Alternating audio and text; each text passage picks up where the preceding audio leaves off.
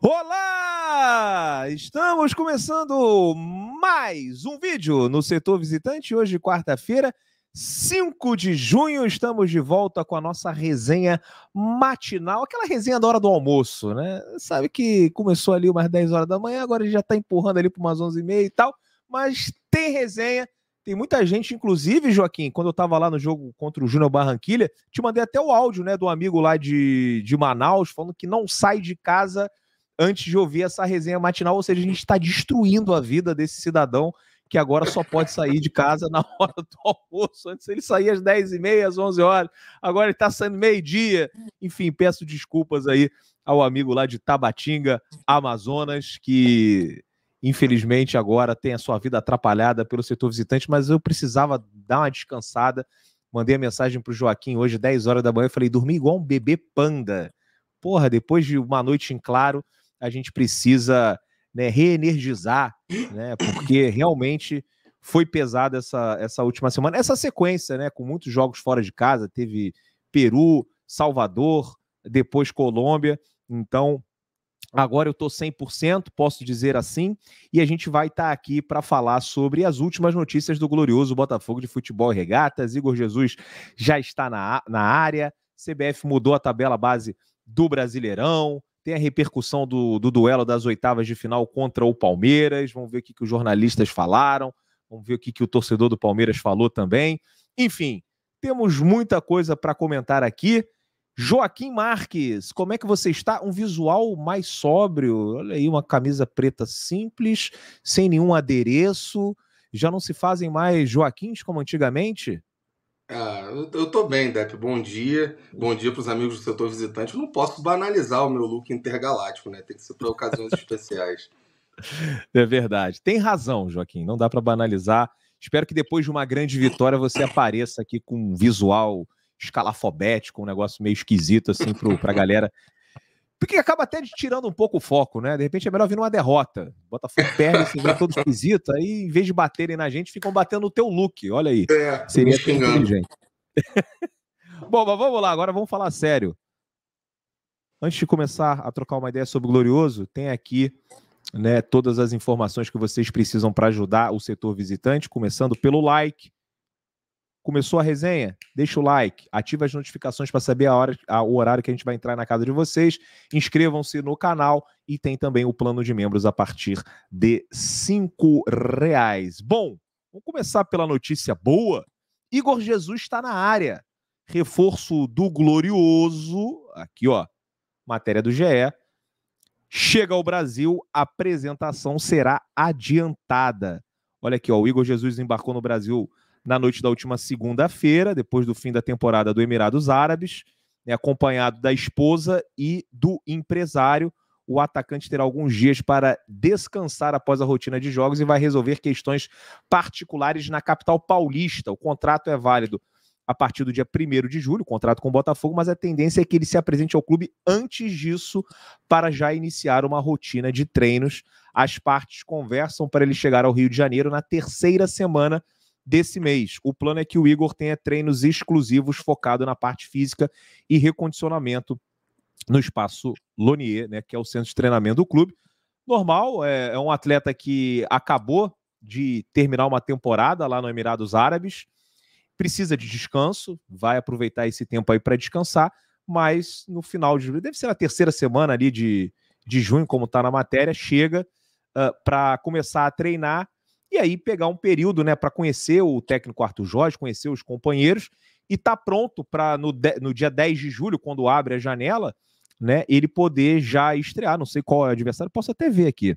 Qual vai ser o primeiro jogo que ele vai estar disponível? Olha, tem um Vitória e Botafogo que vai ser no dia 10 ou 11 de julho. Se for 11 de julho, o, o, o Igor Jesus, né, se for acredito 10 de julho também, vai conseguir jogar, vai estar liberado. Então seria Vitória e Botafogo, jogo em Salvador.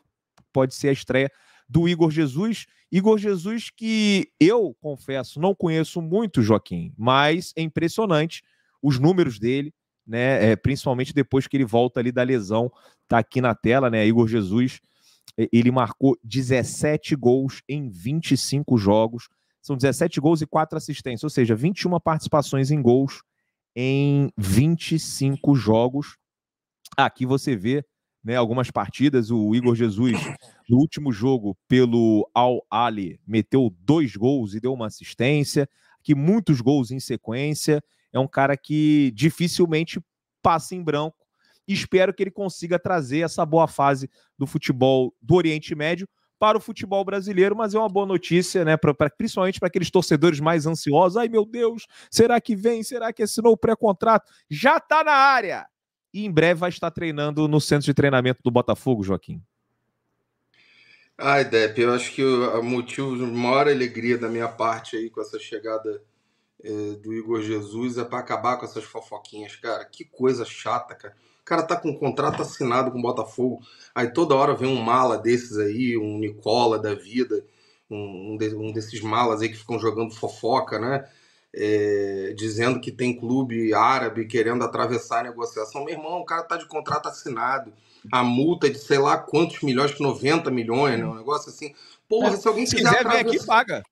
É, se alguém negócio. quiser atravessar e levar ele quebrando o contrato por 90 milhões, sei lá quantos milhões são, faça isso, por favor, cara. Mas parem de encher o saco. O Igor Jesus é do Botafogo e acho que é um, um belo reforço. Acho que se a gente quiser falar aqui, discorrer sobre o futebol do cara, vai ser uma grande farsa. Acho que quem fica falando aí que conhece o futebol do Igor Jesus, a maioria é, é, é lorota. Deve ter um ou outro tarado. É, um, um tarado ou outro. Assim, quem pode falar, assim, os caras, de repente, do Paraná, que aí acompanharam ele subindo no Curitiba no e Curitiba, tal. Curitiba, exatamente. É. Fora isso, é, é lorota, conversa fiada. Mas, é, por outro lado, apesar da gente não ter o conhecimento aí da, da, da carreira dele, de acompanhar os jogos dele, uma coisa eu não tenho dúvida, ele vai ser um ótimo reforço. É, em que nível que ele vai chegar aqui, não sei. Se ele vai ter nível para de repente disputar a vaga com o Tiquinho, não sei. Se ele vai estar tá entre os tops do futebol brasileiro, isso eu não sei também. Agora, que ele vai ser um bom reserva, é, isso eu não tenho dúvida, porque hoje a gente não tem reserva, né? É, é, para a posição do Tiquinho Soares, né? E antes a gente estava contando com o Janderson, que foi vendido, vendido né? Porra, não dá para contar com, com, com o Janderson. Oi? E, não, não, é, é que você falou assim, hoje a gente não tem reserva. Verdade, não tem reserva mas o Júnior Santos foi uma excelente alternativa. Ah, não, sem e, dúvida, e assim, sem dúvida. Eu até fico agora pensando. Júnior Santos volta para a ponta, Júnior Santos continua como atacante, é, o ataque é Tiquinho e Júnior, ou será que de repente dá até para fazer Tiquinho, Igor, Júnior e Luiz Henrique? É, tem muitas opções do meio campo. Tem, tem. Eu tô acostumado com isso, mas o, o nesse período sem, sem Tiquinho, cara, o Júnior Santos me surpreendeu, sinceramente. Eu achava que ele não ia não. conseguir segurar essa barra.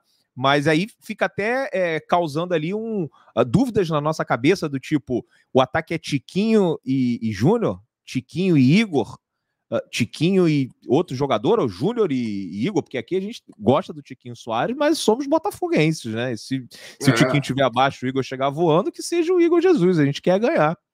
Sem dúvida. É, assim, é, quanto ao Júnior Santos, não resta dúvida, ele realmente ele ocupou muito bem essa, essa oposição aí como centroavante na ausência do Tiquinho. É, inclusive, se procurar aí nos vídeos é, antigos, antes do, do Júnior Santos começar a jogar nessa posição do Tiquinho, eu falei até que gostaria de ver e achava que o Júnior Santos teria talento para isso, porque ele muitas vezes, mesmo sem jogar como centroavante, ele às vezes está naquela função lá na frente, né, em algum determinado momento do jogo, e ele mostra que ele tem qualidade para isso, que ele protege bem a bola, que ele consegue girar, né, fazer o pivô e girar para finalizar ou passar para alguém. É, e, e, isso aí se confirmou porque ele realmente foi muito bem.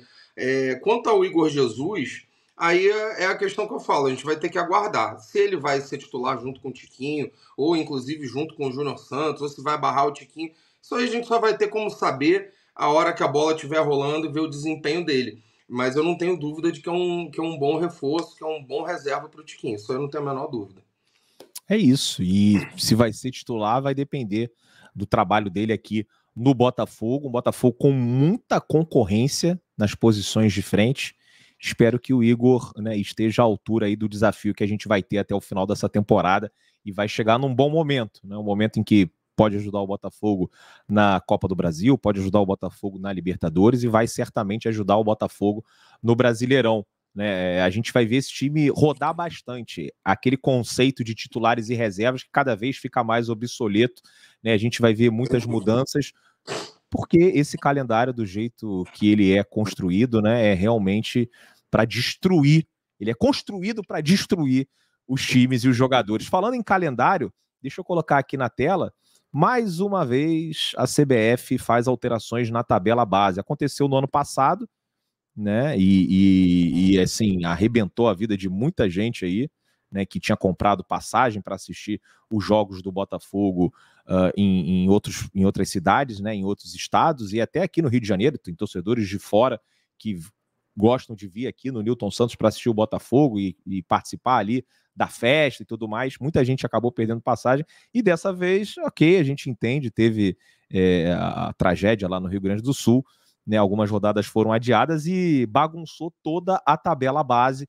Então, assim, galera, a partir de agora vocês podem comprar passagem pensando nos jogos lá da frente, porque eu tenho alguns amigos que compraram é, logo quando a tabela base saiu, compraram um jogo, por exemplo, contra o Bahia e perderam, porque o jogo, da, o jogo contra o Bahia lá em Salvador passou duas semanas para frente, né? Duas, duas rodadas para frente, e isso aconteceu com várias rodadas. É, perdi a passagem, por exemplo, do, do jogo contra o Criciúma, né? Sorte que eu só tinha comprado a ida, e aí o prejuízo é um pouco menor, mas perdi, aí tive que comprar uma outra passagem, porque o jogo passou para uma outra data. Agora a tabela está aqui, vocês podem ver no Fogão Net. Acredito que não vai acontecer de novo de mexer na tabela base dessa temporada. Então, por exemplo, tem um jogo aqui Atlético Paranaense e Botafogo, 4 ou 5 de outubro. Pode comprar, né? Se acontecer uma outra tragédia, alguma coisa inacreditável, né? No ano passado é, teve o, o apagão, né? Que, que, acabou fazendo com que alguns jogos fossem adiados, né? Alguns times também pedindo ali é, o adiamento das partidas e, e foi por uma circunstância que eu não concordei, né? Mas beleza. Esse ano teve a questão da tragédia do, do, do, Rio Grande do Sul. Então a tabela foi toda modificada e isso vai ter impacto no Botafogo, né? Porque com essas mudanças, um jogo do segundo turno vai coincidir com o show do Bruno Mars. É um jogo contra o Criciúma. Pelo menos não é um confronto direto, né, Joaquim? Não é um clássico, não é um Botafogo e Palmeiras, não é um Botafogo e Atlético Mineiro. É, é, é, um jogo contra o Criciúma, e aqui não estou querendo menosprezar o Criciúma, mas é, imagina se fosse contra o Palmeiras, por exemplo, né, que tem tudo para ser um confronto direto, numa busca por título ou pela Libertadores. É, o Botafogo vai ter que encontrar uma alternativa para, uh, ah, enfim, jogar esse jogo na frente da sua torcida. Não sei se de repente numa outra cidade. E talvez tenha impacto caso o Botafogo chegue na semifinal da Copa do Brasil né? É, aqui, ó, e, e, se o Botafogo aqui, em relação ao, ao jogo do dia 16, o Botafogo pode ser impactado se chegar às semifinais da Copa do Brasil e decidir o jogo de volta em casa, pois está previsto para 17 de outubro. Esse é o show do dia 16. Então, dia 17 de outubro tem aí uma semifinal de Copa do Brasil, Joaquim. Cara, e de repente é até questão de conversar com outro time e entregar esse segundo jogo para casa dos caras. Falar assim, ah, tudo bem, vocês podem decidir em casa, esquece o sorteio, a gente faz o primeiro jogo aqui no, no Newton Santos. Mas prejudica e a gente sabe essa questão dos shows, cara, que não tem para onde fugir, tem que fazer show mesmo, tem que ganhar dinheiro. Nosso time é caro, Uh, a gente ainda não tem receitas no nível assim para suportar sozinho com toda a grana investida no futebol do Botafogo. É uma alternativa para o Textor, para o clube, para a SAF. Então, por mais que seja ruim, a gente vê acontecendo no Palmeiras também. Palmeiras várias vezes tem que jogar em outros lugares, joga na Arena Barueri. É, e, enfim, o Botafogo vai ter que lidar com esse tipo de problema. Não é o ideal, não é o ideal, obviamente, mas, cara, eu sou chato com algumas coisas, mas essa do show, para mim, é compreensível. Você perder agora, é, ainda mais por uma mudança que o Botafogo não foi responsável, né? Mas tem um impacto e né, a gente sabe que pode atrapalhar né, os nossos planos no Campeonato Brasileiro e até na Copa do Brasil também. Olha, quando eu vejo alguém falar, comentar sobre essa questão, reclamando né, dessa questão dos shows no Newton Santos, eu nem levo em conta, cara. nem levo em conta, porque isso é uma conversa muito doida, descabida. É, a gente pode pegar o próprio Palmeiras como exemplo, que também usa grama sintética e também tem os shows no Allianz Parque. E a grama sintética é para isso, porque é, é, o show muitas vezes inviabiliza o futebol, porque destrói o gramado. Então você coloca a grama sintética já para é, é, resolver essa questão. É, e, e, e, a desmontagem, a montagem do evento também é um negócio rápido. Então eu nem acredito que o jogo que seja depois seja prejudicado, mas se for, faz parte, gente. A gente não quer um time caro, um time cheio de craques, um time que custa sei lá quantos milhões por mês em folha salarial e tudo mais. Então, é o que eu sempre digo: se não tem milho, não tem pipoca. Quer dinheiro? Tem que fazer dinheiro, tem que arrecadar de todas as formas possíveis, e uma delas é fazendo show, porque é muita grana. Esses shows internacionais, especialmente os internacionais, é, trazem uma arrecadação muito forte. É porque a gente acostumou com essas cifras é, absurdas do futebol e vai naturalizando, vai banalizando. Então, eu, eu não sei quanto que o Botafogo ganha num, num show desse como o do Bruno Mars, mas vamos dizer que ganhe um milhão. Eu falo, ah, mas um milhão não é nada. Pô, não é um milhão, não é nada porque não é o teu dinheiro. É o do John Textor. Né? Então, isso aí, é, é isso não é, me se preocupa. faz 10 shows, são 10 milhões, né? Assim, é. fazendo uma conta grosseira aqui. Pois é, né? Pô, pois é, assim, no chutômetro é mais ou menos isso. É, só que é o seguinte, é, isso aí não me preocupa, isso aí para mim é um assunto fora de questão. O que me preocupa é a bagunça da CBF, de mudar calendário. Aí isso realmente me preocupa. Esse ano eles têm a desculpa por causa da tragédia lá no sul. Mas a gente sabe que isso aí é uma muleta, porque eles fazem isso todo ano, né? Todo ano acontece é, isso. E, e, só acontece por causa dos estaduais, né? Porque você tem ali quatro meses interditados pelo estadual e você tem os, o, o brasileiro, as outras competições muito apertadas e você não tem data para né, pra, de repente... Nem precisa dizer o que, que eu penso dos estaduais, né? É, é, verdade. Aí você não tem uma data de emergência, sabe? De tipo, ó, teve que adiar essas duas rodadas, coloca no meio dessas duas semanas aqui e não precisa mexer no resto. Só que você acaba que tem que mexer no resto todo. E ainda tem essa é pior, questão né, da data FIFA, da Copa América, que, porra, os times gastam dinheiro, contratam jogadores, vão perder os caras aí por um tempão. Mas, é, o Dep, tem uma coisa que é pior ainda, né? O ditado que diz que nada é tão ruim que não possa piorar. Além do estadual interditar quatro meses do calendário, espremendo todas as outras competições nos oito meses que restam do, do ano, né? Nove, na verdade, porque tem um de férias. Né? Além disso, são quatro meses deficitários, porque o campeonato estadual dá prejuízo para os clubes. Então, assim, é um, é um negócio escabroso, né? inacreditável. É. Mas, enfim, é o que temos para é hoje. É o que temos. Bom, vamos falar agora de John Texon, vamos falar da repercussão desse duelo das oitavas de final. O Joaquim não participou da live do sorteio. Ficou triste, né? Porque acabou não sendo é, é, reconhecido lá pelo, pelos equatorianos, né? O Joaquim que acompanha os garotos. Os moleques pegaram o corte aqui do setor visitante. Joaquim, se tivesse, também ficaria famoso lá no, no Equador pelos meninos da LDU. É, ontem a gente não fez essa, essa resenha da manhã porque eu estava em trânsito voltando para o Rio de Janeiro e ele não teve tempo para falar né, sobre essa repercussão.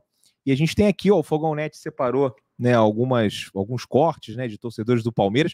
E assim, o, o, palmeirense, não só o palmeirense, mas como alguns setores da imprensa estão falando muito de John Texon, né? O John Texon com grande protagonismo pós-sorteio.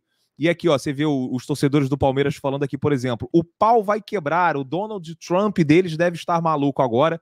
Que plot twist, tem que tomar cuidado, eles vão vir babando, vão vir babando.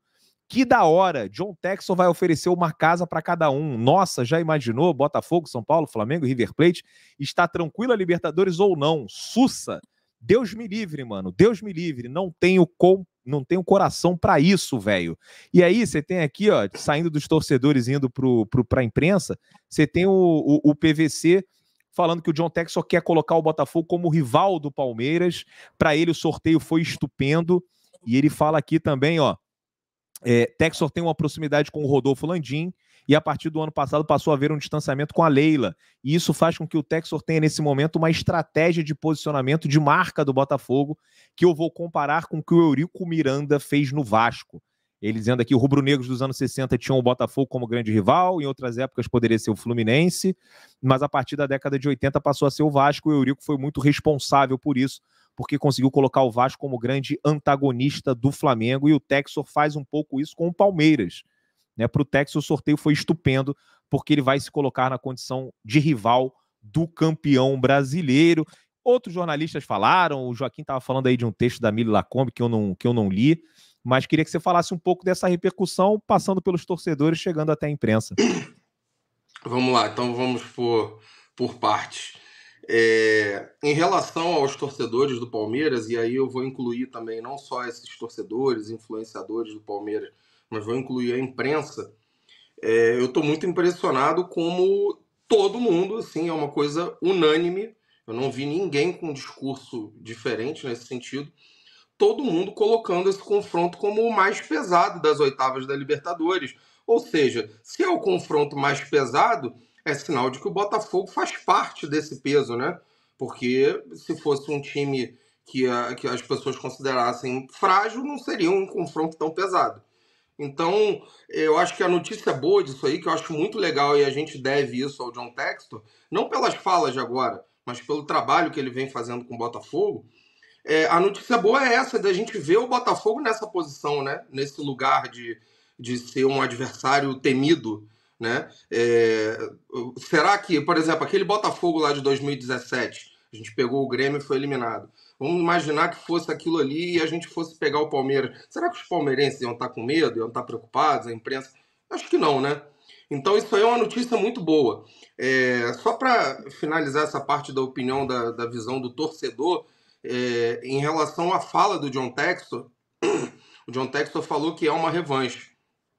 E aí tem dois lados dessa moeda. Um que eu bato palma para o John Textor, é, e eu acho fantástica a maneira, a, é, que ele, a capacidade que ele tem de atrair os holofotes. Você pode reparar aí que tem um bom tempo que a mídia fala demais do Botafogo, coisa que não acontecia. Você ligava um programa esportivo, eles ficavam 30 minutos falando do Flamengo, 20 do Corinthians, 15 do Palmeiras, aí falavam um minuto assim do Botafogo. Botafogo joga hoje às 19 horas. Pronto, era, era a notícia do Botafogo.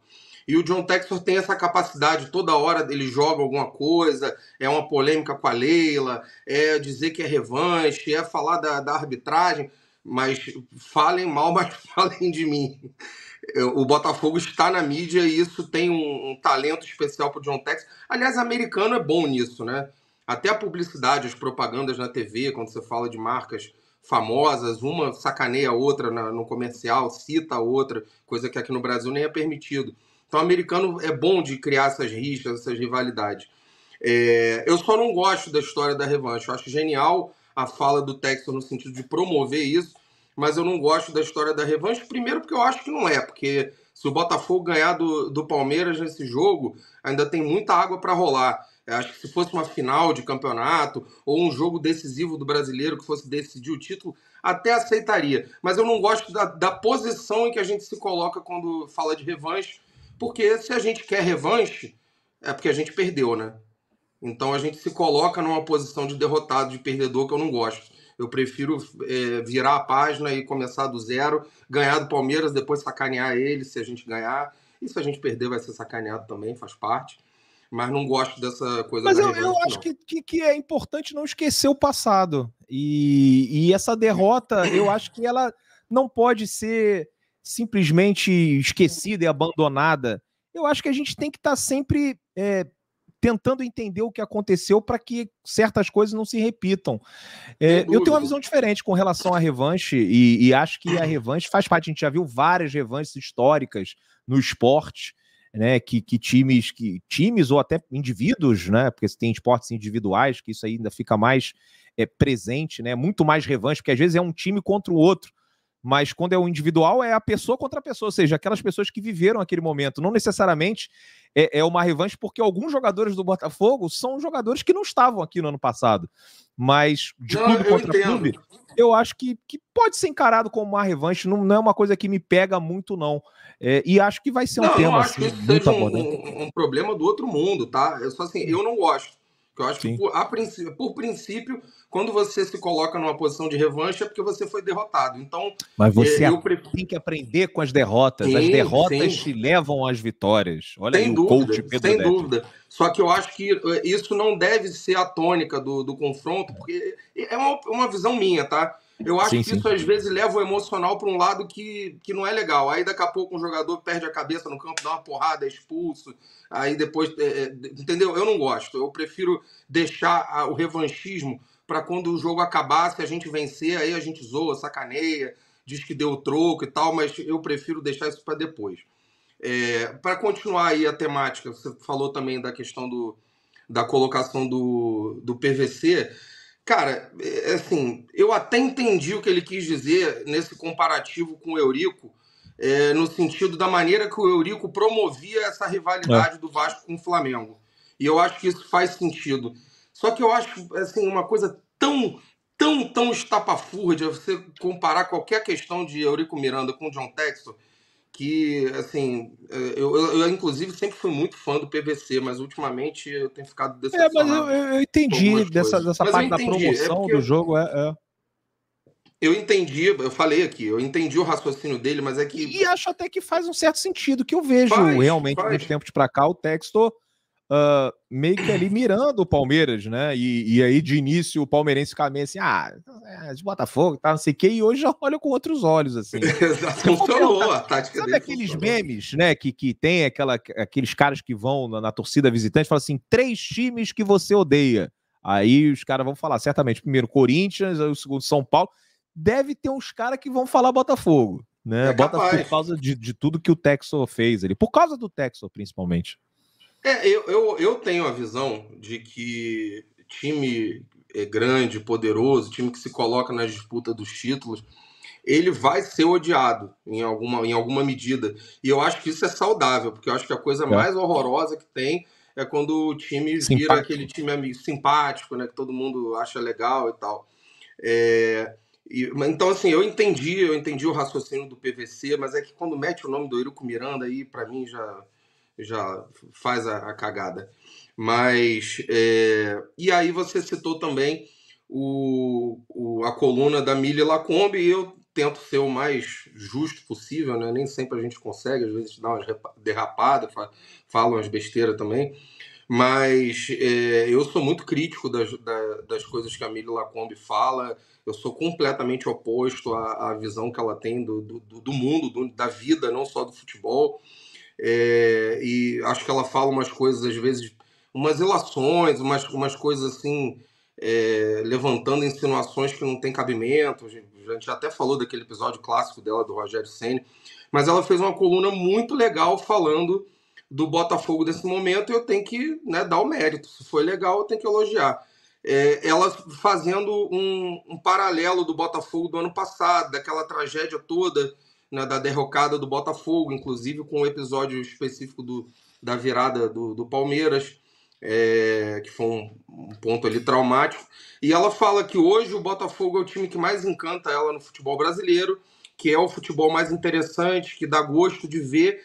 E uma coisa que a gente já falou algumas vezes aqui no setor visitante, que é verdadeira, que é a capacidade que esse time teve de dar a volta por cima, a questão emocional, a torcida estava pegando no pé. E ela fala disso, que o Botafogo teve uma capacidade incrível de se reinventar, se reconstruir, é, superar né, essa questão emocional do ano passado e, é, e, e tá aí disputando os títulos. E ela fala um negócio que eu acho que é muito verdade também, que é que só experimenta o prazer, é, o ápice né, dessa, dessa volta por cima, claro, se você conseguir coroar isso com título e tal, quem sofreu com, com o fracasso.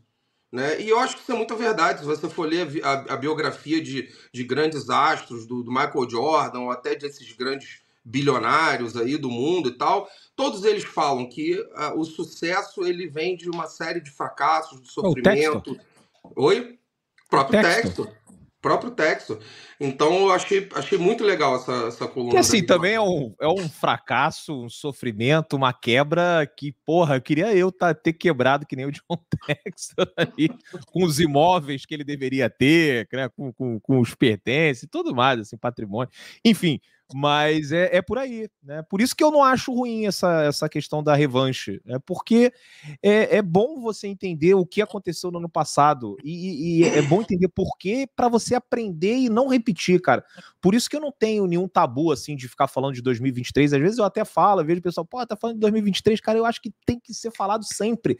Porque quando você para de falar, você esquece e aí você dá brecha para acontecer de novo um negócio desse. Porque é o que eu falo constantemente aqui no setor visitante. Meu irmão, parem para pensar um pouquinho.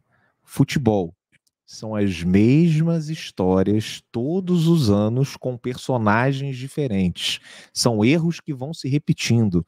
Troca de treinador, manda jogador embora e recomeça tudo do zero e destrói e não constrói e não re... e assim é sempre a mesma parada. Então a gente tem que estar sempre atento para não repetir os erros e fazer com que o Botafogo consiga coroar né, essa volta por cima com o título, porque de fato só vai ser uma volta por cima mesmo. A gente pode até falar uma volta por cima individual, mas a gente quer uma volta por cima coletiva, uma volta por cima do Botafogo, e aí é só com o título mesmo. Rapaziada, tá chegando, tá, tá faltando um pouquinho mais de uma semana para terminar o torneio da Parimate. Eles jogam, você ganha. Tem todas as informações aqui na descrição. São vários prêmios, tem prêmios semanais, né, prêmios semanais. Então você entra na, no site da Parimate, você que já é registrado, na aba de promoções. Aí na aba de promoções você clica nesse torneio, começa a participar, né, que você concorre a, a vários prêmios. Né, tem prêmios semanais, como eu disse, tem um prêmio é, ali no final que é o valor de um Porsche Macan. E se você não é cadastrado ainda na Parimate, o setor visitante tem né, um bônus de 100% para depósitos até R$ 1.500. Você acessa esse QR Code, se cadastra na Parimate, faz o seu primeiro depósito, coloca ali no código promocional GRITO, tem um código promocional, você escreve GRITO, e aí você pode tirar é, 100% de bônus em depósito de até 1.500. Como é que funciona? Depositou 1.500, a Parimate dá mais 1.500, você fica com 3 mil para apostar. Depositou 50, a Parimate dá mais 50, você fica com 100 reais para apostar. Lembrem-se sempre, apostem com responsabilidade. Parimate, tá tudo aqui embaixo na descrição. Né? Tem a informação sobre o torneio e também sobre o bônus. E a Simples Reserva, parceira do canal. Deixa eu entrar aqui no site da Simples. Vamos entrar aqui no site da Simples. Olha só, rapaz, tem muita coisa aqui. E chegou agora a coleção de inverno que tá sacanagem. Coleção de inverno tá sacanagem. Aqui, ó. Você entra aqui, masculino, quero comprar uma bermuda. Eu sou fã das bermudas da Simples Reserva. Já falei, recomendo aqui para vocês. Vou, vou, mandar uma aí para casa do Joaquim. Eu gosto muito da, da Mole Cotton. Deixa eu ver aqui, ó. Mole Cotton. Ah, tem aqui, ó, bermuda Mole Cotton. Tá 159. Né? Essa aqui tem azul, tem branca. Aqui, ó. Aí, ó. Tem a branca. Eu tenho essa branca bonita. Tem a tem a, a, cinza, eu também tenho a cinza. Ele é muito confortável, cara. É impressionante, muito confortável. E um preço. Ah, que, que isso? Tá 95 reais. Já tá na promoção, não é 159, tá 95. Não sabia, foi sem querer, hein? Caraca, tá 95 conto. Então ainda tem mais 10% de desconto aqui do setor visitante. Olha só que coisa boa, rapaz. Joaquim, depois você me manda aí o teu tamanho. Acho que deve ser G, né? O meu é G, eu uso G. G. Cara, Pô, acho essa... que o G vai ficar bem grande. Essa camisa intergaláctica aí do Botafogo com as estrelas e tal, eu comprei ela tamanho 2GG.